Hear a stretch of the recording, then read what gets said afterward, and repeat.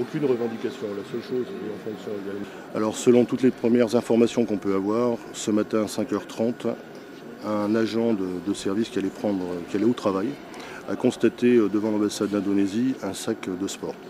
Cette personne a ouvert ce sac de sport et a constaté à l'intérieur un engin artisanal qui pourrait, selon lui, être une bombe. Il l'a déplacé sur quelques mètres et euh, a immédiatement prévenu euh, les services de police par l'intermédiaire du 17 Police Secours.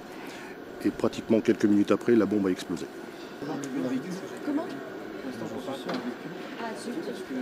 Pour l'instant, aucune information concernant euh, les potentiels auteurs et concernant euh, l'identification.